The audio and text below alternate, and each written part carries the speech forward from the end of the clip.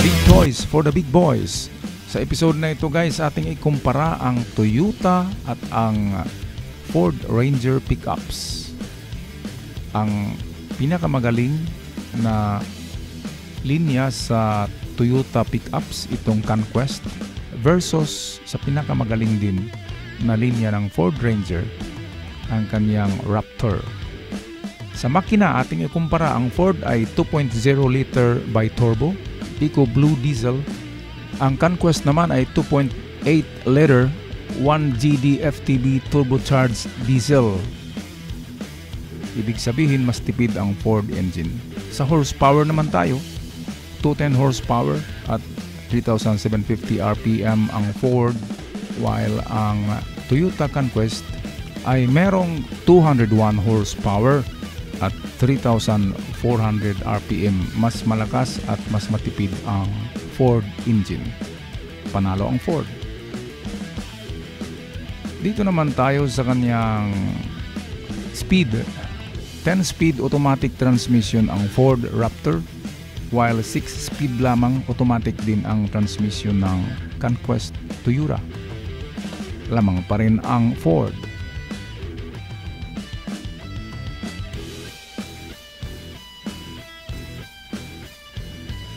Dito tayo sa sukat dimensions ng mga trucks na ito. Siyempre ang Ford Raptor malaki yan pero atin tingnan kung gaano kalaki ang kanyang advantage versus the Conquest. Ang kanyang length ay 5,398 mm 5,398 mm ang length or 5.3 meters. Bakit kasi pinahirapan pa sa millimeter? Pwedeng meters naman yan. Dito sa Conquest, ang kanyang total length is 5,335 millimeter. Lamang konti ang Raptor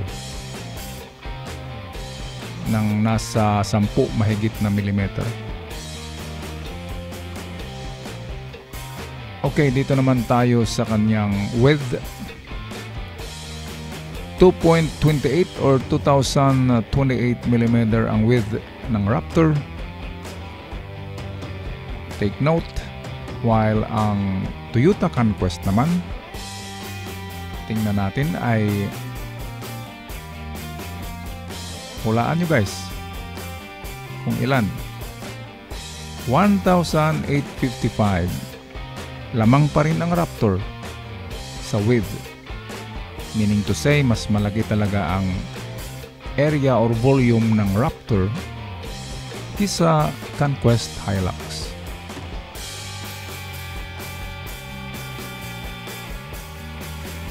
ngayon ang kanyang haba ang kanyang taas ang height 1.8 meter sa Raptor sa Ford Raptor ay 1.8 or 1,873 millimeters while sa Toyota Conquest tingnan natin.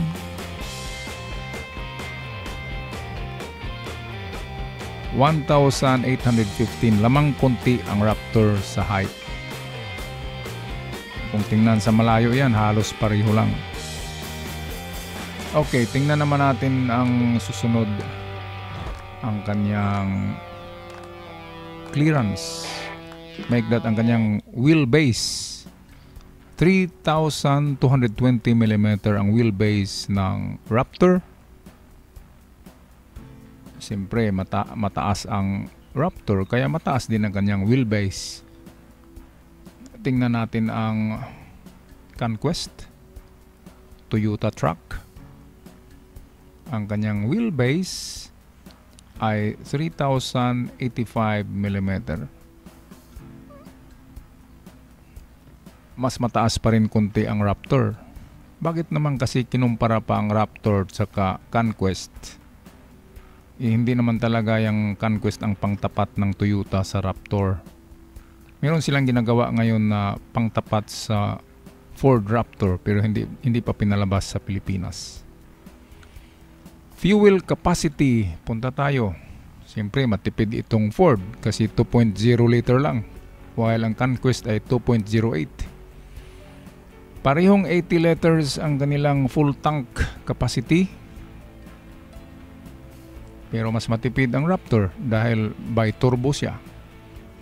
Sa bawat kilometro, 12.5 kilometer sa bawat liter ang matravel ng Raptor while 9.5 km lang ang sa Hilux. Mas matipid ang Raptor. Wala talagang panalo sa ilang features ng ating tiningnan. Hindi talaga nanalo ang Conquest. Sorry guys. Wading depth, yung kung sa tubig tayo dadaan. 850 mm ang clearance ng Raptor, 700 ang Conquest merong 50mm na advantage ang Ford Raptor sa kung sa tubig siya dumadaan sa mga creeks or rivers. Sa ground clearance naman 283mm, 279 lamang pa rin ang Raptor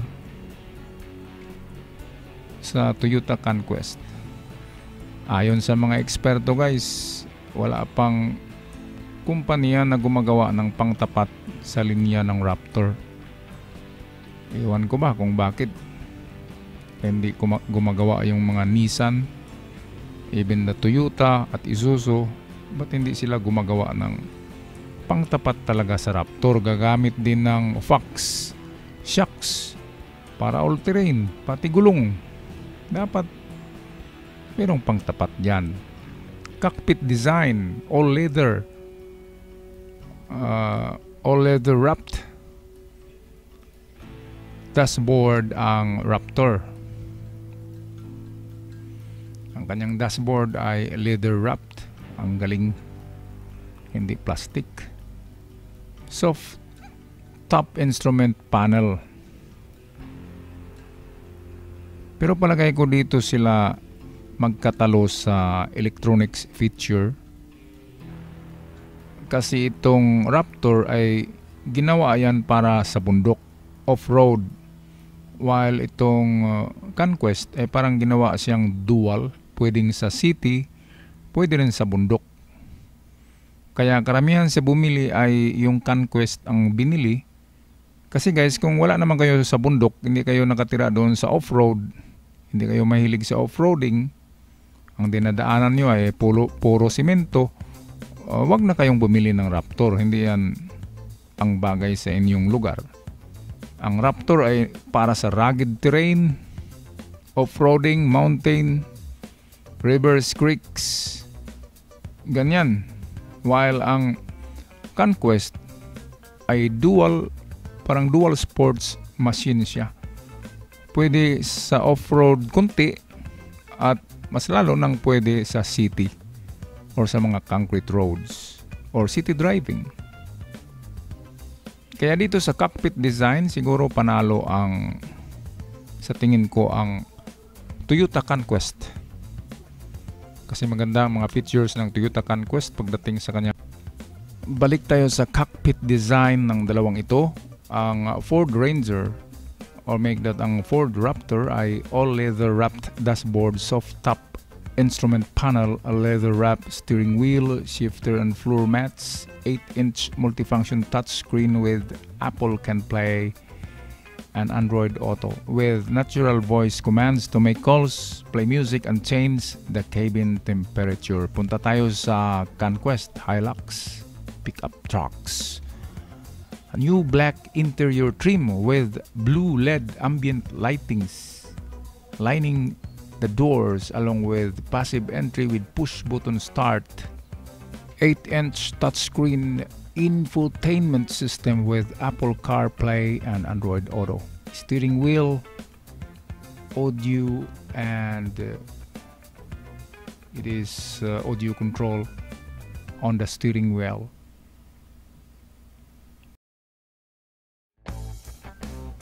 Air conditioning, ano bang meron? Sa dalawang ito, dual zone automatic climate control sa Ford Ranger while sa Hilux automatic climate control. ang kanyang aircon pareho sila. Dito naman tayo sa kanyang exterior, yung kanyang aesthetic front view. Sinong mas angas dyan? Of course, magaling talaga ang aesthetic, maganda ang aesthetic ng Ford Ranger. Sorry naman guys sa mga ta- sa Toyota. Ako love ko ang Toyota pero aesthetic look maganda talaga ang Ford Raptor. Signature black leather grille. Muscular haunches and frame mounted bumper make for an imposing stance. Imposing nga talaga ang tindig ng Ford Raptor. Dito naman tayo sa Conquest. Wider front grille, a more chiseled front bumper, sleeker set of headlights, and updated taillights. Ang Toyota Conquest kasi, kung tingnan nyo yung kanyang front grille, ay gumagaya na siya sa Ford Ranger. Kung tingnan nyo yung mga unang modelo ng Ford Ranger, ay meron siyang parang kahawig ngayon ng Hilux, ang 2021 model ng mga Hilux truck ay parang Ford na ang kanyang harap. Yan ang napansin ko. Headlights. Punta tayo sa kanilang mga headlights Parehong merong mga DRL yan. May LED, daytime running light. Pareho silang dalawa.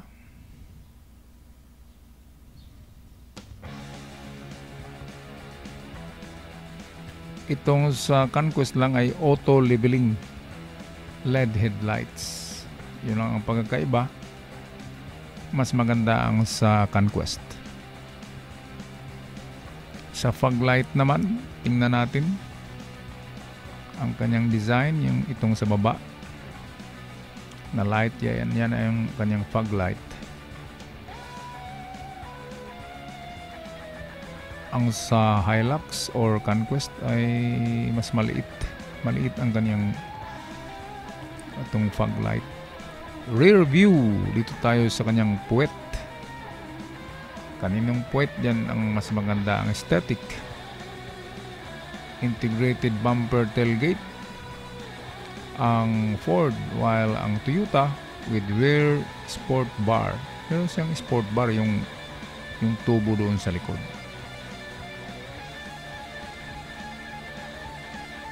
Integrated uh, bumper tailgate ang Ford with rear sports bar tailgate ang Toyota Conquest tail lights. Alin sa dalawa ang maganda ang tail light? Alin ba guys sa tingin nyo? Ako mas nagandahan ako sa itsura ng Conquest. Tail light. Bago na parang yung sa sports car na. Itong sa Raptor naman ay classic pa rin. Parang mga rectangular ang itsura. Yung sa Toyota Conquest ay letter C na yung tail lights. Dito tayo sa kanyang gulong. Sa kanyang rims. 7-inch black alloy ang rim ng Ford. Mas malaki ang rim ng Conquest. 18 inch.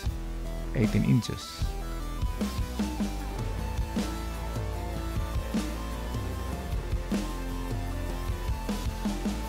Ngayon, nasa inyo na guys ang judgment kung saan ang gusto mo na off-road trucks. Ang Toyota Conquest ba or itong formidable Ford Raptor? So hanggang sa muli, please subscribe the channel for more videos.